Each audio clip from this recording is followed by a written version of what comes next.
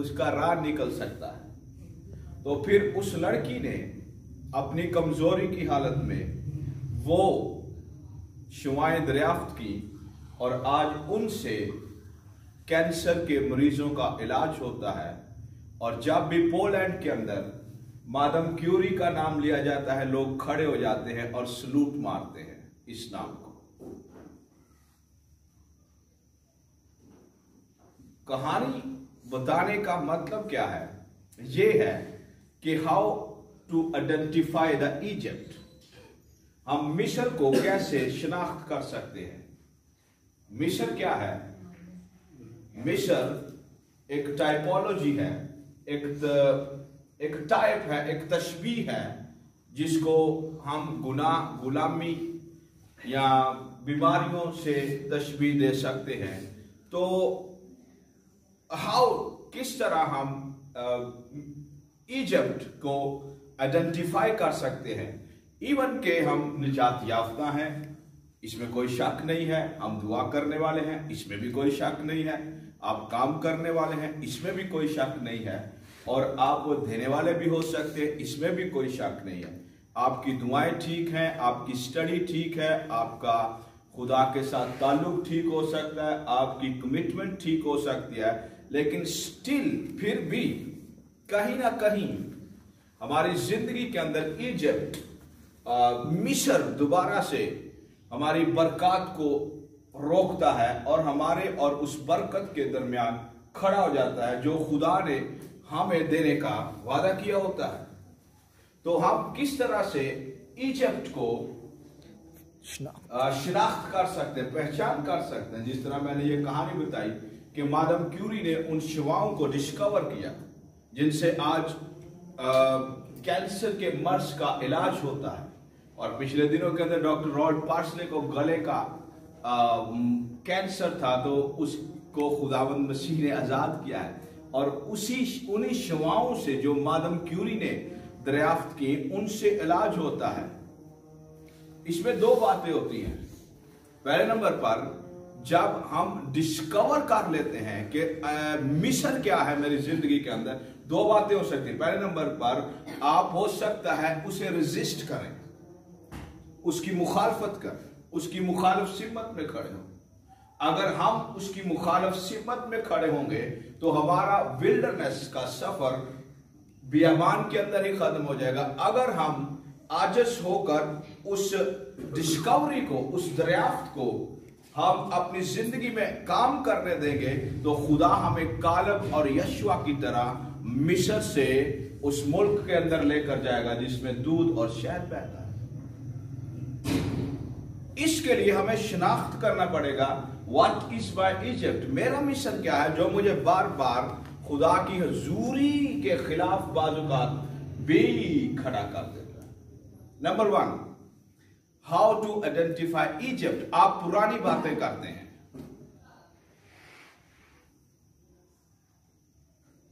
پہلی بات. آپ جس جگہ سے نکلے ہوتے ہیں آپ کے اندر وہی باتیں جب رپیٹ ہوتی ہیں اور آپ ان کو کرتے ہیں یہ پہلی شناخت ہے کہ مصر کے اندر ہے کس کے اندر؟ مصر کے اندر. مصر کے اندر. ایک دفعہ بارہ جواسیس سپائز بھیجے گئے۔ پرومس لینڈ کو ایکسپلور کرنے کے لیے کہ اس اس جگہ پر کیا ہے۔ تو جو دس لوگ تھے، وہ بھی مصر سے نکلے ہوئے تھے۔ ان کے ساتھ جو دو تھے، وہ بھی مصر سے نکلے تھے۔ اور ان کی گفتگو کو دیکھیں اپوزٹ ہے۔ بالکل مخالف سمت میں ہے۔ ایک گروپ کہتا ہے، ہم مارے جائیں گے، ان کے لوگ بہت زیادہ ہیں، کاداور ہیں۔ اور انہوں نے نیگٹو ٹاک کی، منفی باتیں کی، پرانی باتیں کی، مصر والی باتیں کی۔ مصر میں چار سو سال سے زائد عرصہ ہو گیا اور یہ دکھ اٹھا رہے ہیں۔ اور اب یہ مصر والی باتیں کر رہے ہیں۔ دوبارہ جہاں سے خدا نے انہیں نکالا ہے۔ اور کہتے ہیں ہم مر جائیں گے۔ اور کلام کہتا ہے یہ بیابان کے اندر مر گئے اور ان کی لاشوں کے ڈھیر لگ گئے۔ اور کلام کہتا ہے زندگی اور موت زبان کے قابو میں ہے۔ اگر آپ مصر کو آئیڈینٹیفائی شناخت کرنا چاہتے ہیں. Number one you will speak differently آپ کی گفتگو ایمانداروں والی ہوگی. آپ جائنٹس کے خلاف لڑیں گے. آپ بدروہوں کے خلاف ڈیمنز کے خلاف، غربت کے خلاف، دعا نہ کرنے والی اسپرٹ کے خلاف، وفادار نہ رہنے والی اسپرٹ کے خلاف. یو ول فائٹ یو آپ کہیں گے کہ ہم مار دیں گے انہیں. ہم انہیں قتل کریں گے. اور ہم غالب آئیں گے، اسی لیے کلام کہتا ہے زندگی اور موت زبان کے قابو میں ہے۔ اس کے آگے لکھا ہوا، اور جو اسے دوست رکھتے ہیں، وہ اس کا پھل کھاتے ہیں۔ یہ ایک نشاندہی ہے۔ مصر کی۔ دوسری بات، آپ موجزات کو سمجھ نہیں پاتے۔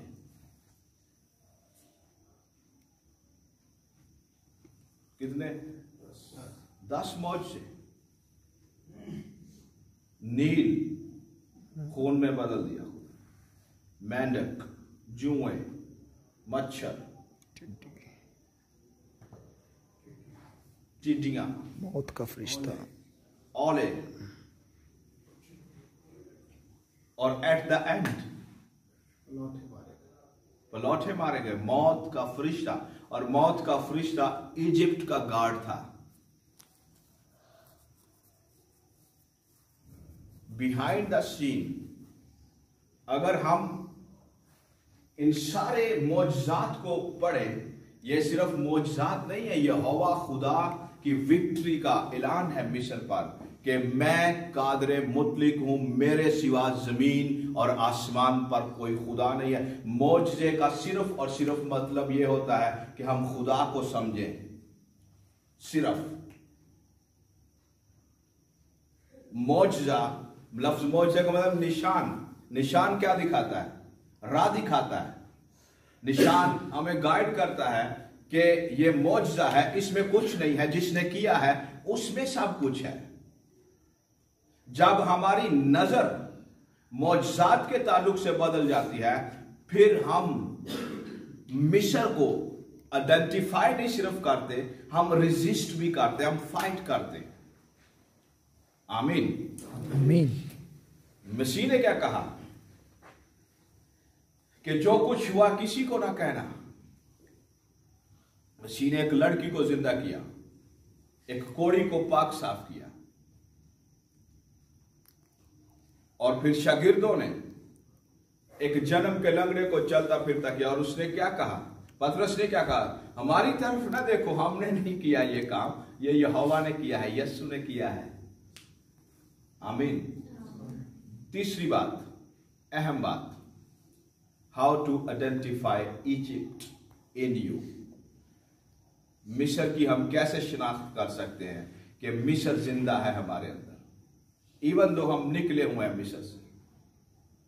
تیسری اہم بات، آخری بات۔ باتیں بہت سی ہیں۔ ہم یہوہ کے کلام کو سمجھنے سے قاصر رہتے ہیں۔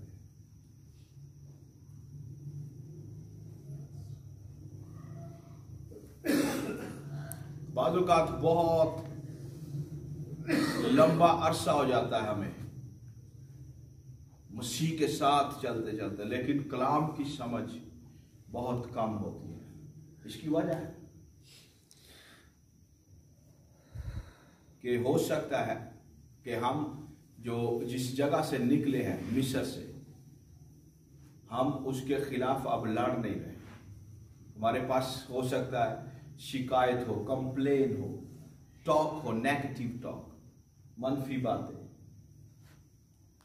تو جس طرح مس مادم کیوری نے ریڈیشنز دریافت کی اور ان سے آج علاج ہوتا ہے، خدا کا کلام ہمیں جانچتا ہے، پرکھتا ہے۔ نہ صرف جانچتا ہے، پرکھتا ہے، بلکہ یہ ہمیں زندگی دیتا ہے، زور دیتا ہے۔